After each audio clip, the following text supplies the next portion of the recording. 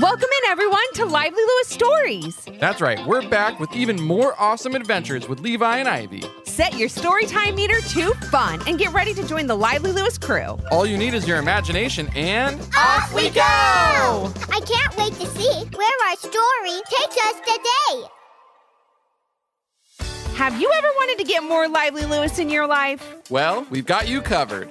Grab an adult and zoom over to livelylewisshop.com. Or just click on the link in our show notes. Enough about that. Let's get to today's super Lively Lewis story. Levi, are we still going on a hike? Called Levi's dad from the garage as he was searching for his hiking poles. If you don't want to go, just let me know.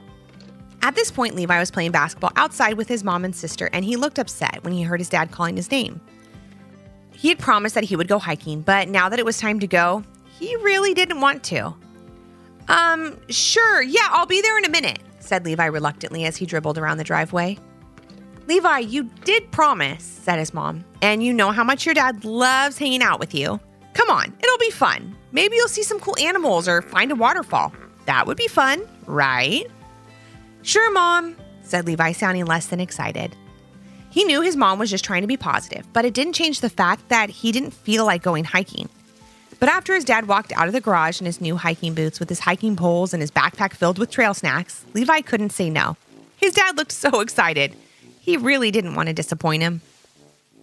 Hey, Dad, you look awesome, said Levi. I'm all ready to go. Levi's dad could tell his son was less than enthusiastic about their outing and tried his best to let him know how much fun it was going to be. Levi, we're going to hike a completely new trail today, one we've never been to before. It'll be so exciting, like we're explorers traveling in a new part of the world, discovering unique and amazing things. I hope you don't discover a big patch of poison ivy like last time you went hiking, giggled Ivy as she grabbed the basketball from Levi. Thanks for reminding me, Ivy, Levi snapped back. Oh, that won't happen again, said Levi's dad reassuringly. I know just what to keep an eye out for now. Leaves of three, let it be. Or was it leaves of four, hiking's a bore?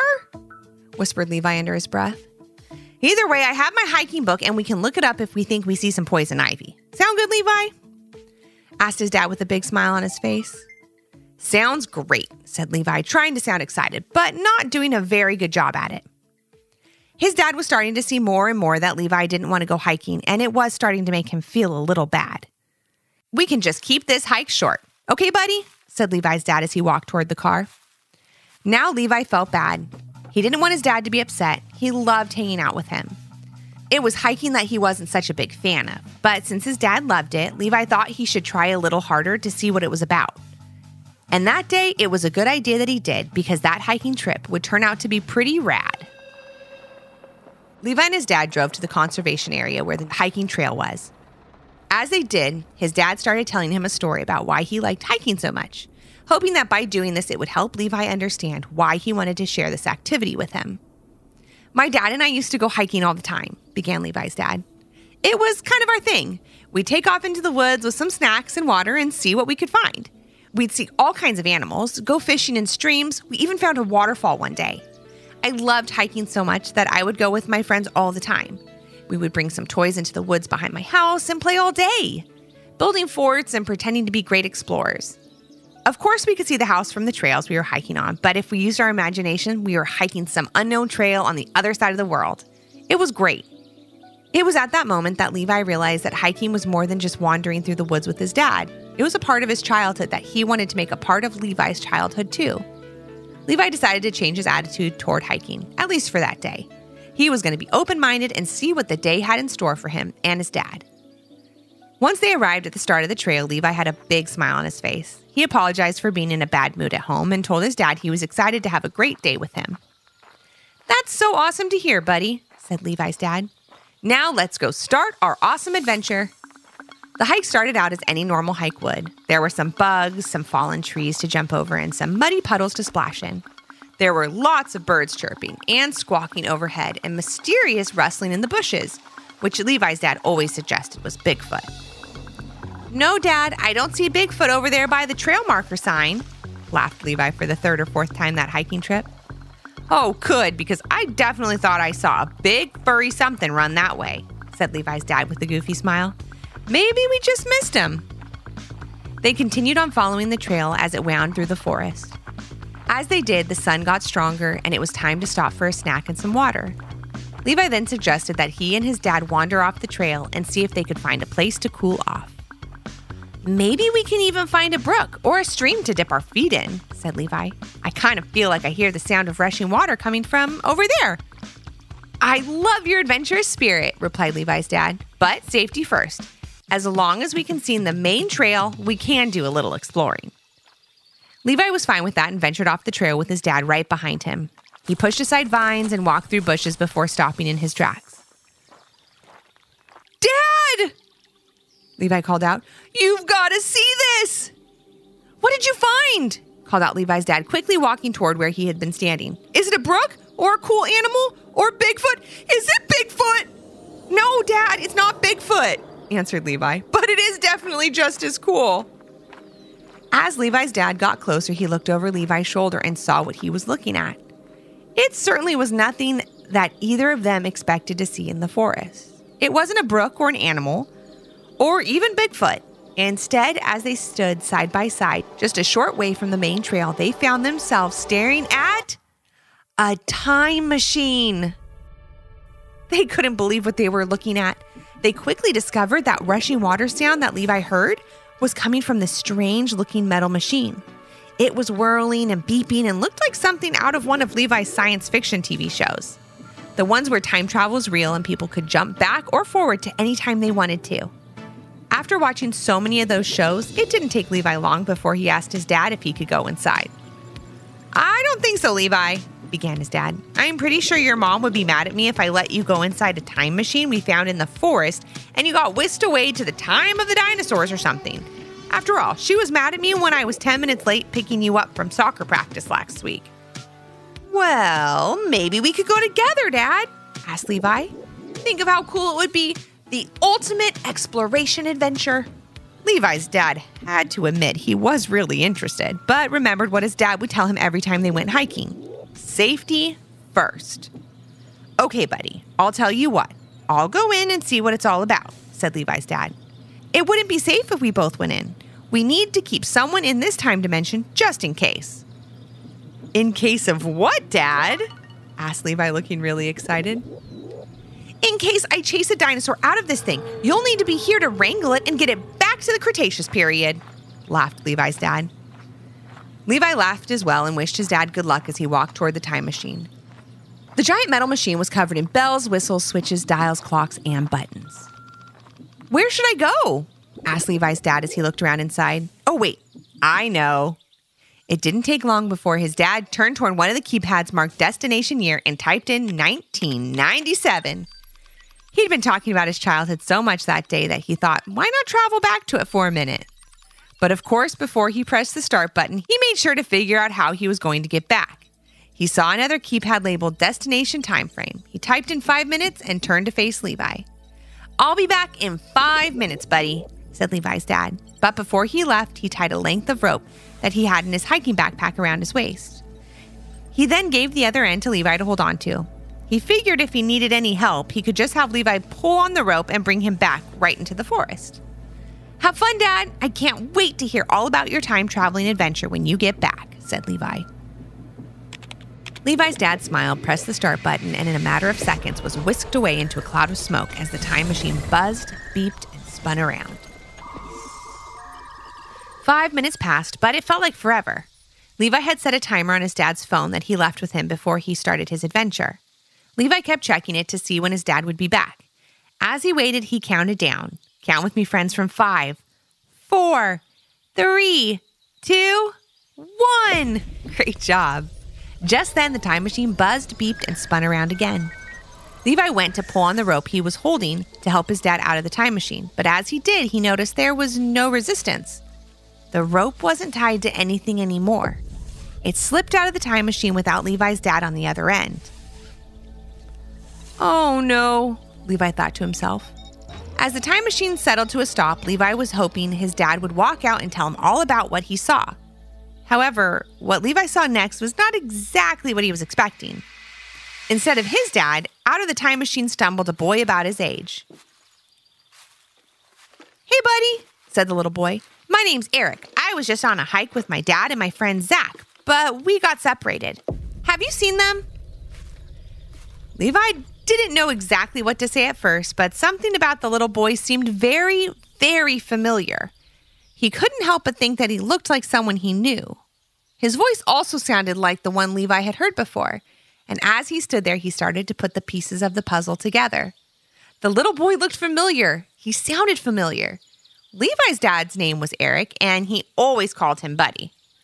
Oh my goodness, it's my dad! As a little kid! Levi shouted in his head, not wanting to freak out the little boy. Levi kept that information to himself and simply replied, Hi, my name's Levi. That's a totally awesome name, replied Eric. Have you seen my dad? We love hiking together. Um, maybe not your dad, but I think my dad is pretty close by, said Levi. Okay, I guess I'll just wait here for my dad to come back then, said Eric. Up until that point, Eric hadn't noticed the time machine and couldn't believe his eyes when he turned around and finally saw it.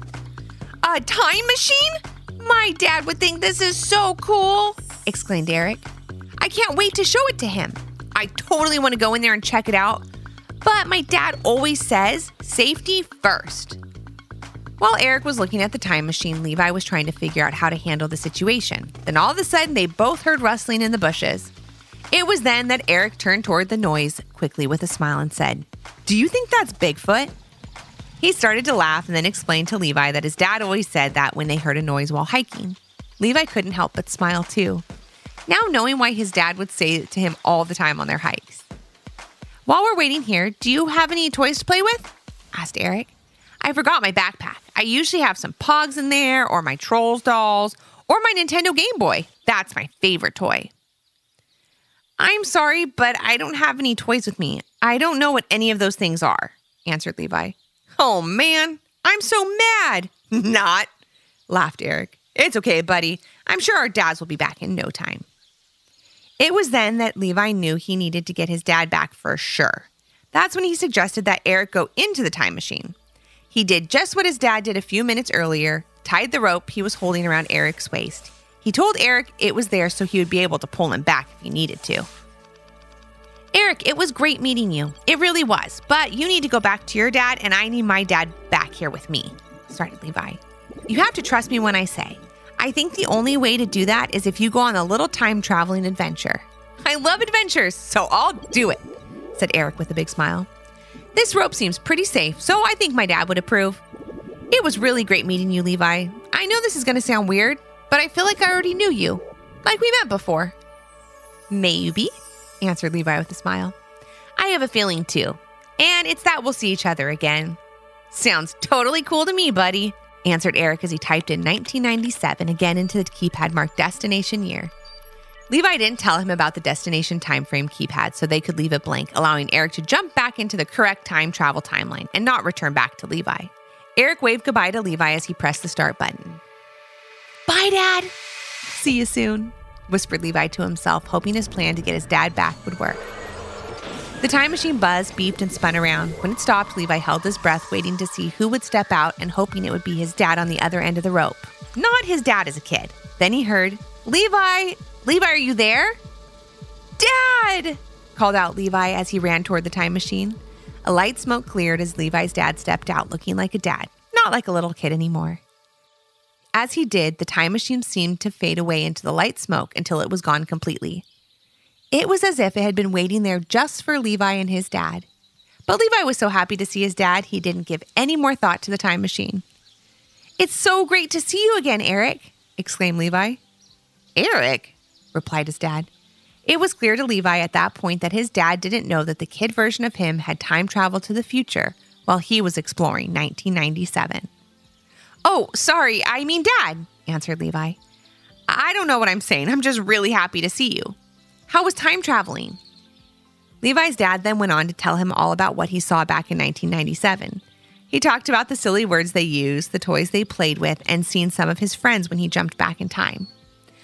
I saw my friend Zach, said Levi's dad. It was so funny to see him as a little kid. He was playing with my favorite toy ever. Your Nintendo Game Boy? said Levi quickly. Yes, said Levi's dad, sounding confused. How did you know that? You told me one time that it was your favorite toy, said Levi quickly, trying to cover up how he would have known that. Well, after all, I think we should be getting home, said Levi's dad. I had a great time with you today, buddy. I hope you had fun too. Probably the most fun I've had in a long time, Dad, said Levi. Thank you for taking me hiking. Do you think this could be our thing now? Like how you and your dad used to hike together all the time? Absolutely, Levi. Nothing would make me happier, said Levi's dad, giving his son a big hug. As they headed back to the main trail, they once again heard a rustling in the bushes. And before his dad could say a word, Levi shouted out, Do you think that's Bigfoot, Dad? He said it with a huge smile on his face, but it couldn't have been bigger than the smile Levi's dad had. At that moment, Levi's dad felt like a kid again, remembering all the great times he had hiking with his dad and looking forward to all the amazing memories he would make with his own son. Thanks for joining us today. We hope you enjoyed the story and learned a little something too. And since we know everyone has their own story, we'd love to hear yours. If you have an idea for a Lively Lewis story, leave a comment on our Apple Podcast review page with five stars, your idea, and your little one's name. Then maybe our next adventure will be with you. Until our next Storytime Hangout. Thanks for listening. We can't wait to share another fun, lively Lewis story with you.